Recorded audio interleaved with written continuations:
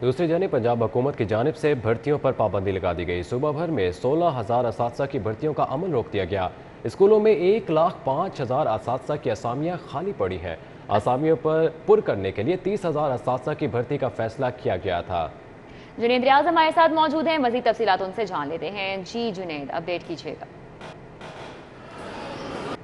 पंजाब हुकूमत की जानब से भर्तियों पर पाबंदी के बाद इस की भर्तियों का अमल भी रोक दिया गया है और सोलह हज़ार भर्तियाँ पहले मरल में की जानी थी और इससे कबल पंजाब में अगर बात की जाए तो एक लाख पाँच हज़ार इस की असामियाँ खाली हैं, जिसमें से पहले मरल में सोलह हज़ार भर्ती की जानी थी और दूसरे मरल में चौदह हज़ार भर्तियाँ की जानी थी, क्योंकि पंजाब हुकूमत ने पाबंदी आयद कर दी है और अब स्कूल एजुकेशन डिपार्टमेंट का कहना है कि भर्तियों के लिए दोबारा से मंजूरी लेना पड़ेगी और इस हवाले से समरी दोबारा से तैयार की जाएगी और क्योंकि सोलह हज़ार भर्तियाँ के हवाले से सबका हुकूमत को समरी भिजवाई गई थी क्योंकि हुकूमत अब तब्दील हो गई और पाबंदी भी आयद हो गई है तो इसलिए इस मरल को दोबारा से अडोप्ट करना पड़ेगा। और इस हवाले से अगर भर्तियों की बात की जाए तो पंजाब भर में सत्तर हज़ार प्राइमरी और एलिमेंट्री इस की और हायर हायर सेकेंडरी स्कूलों में तकरीबन तीस हज़ार इस की भर्ती की। अशद ज़रूरत है और इस हवाले से ये भी कहा गया था कि गर्मी की छुट्टियों में ये मरहला मुकम्मल कर लिया जाएगा, लेकिन एक भी भर्ती नहीं हो सकी। अब स्कूल एजुकेशन डिपार्टमेंट का कहना है कि जो समरी भिजवाई जाएगी, वो जब मंजूर होकर आएगी तो फिर दोबारा से भर्तियों का अमल शुरू किया जाएगा और इस हवाले से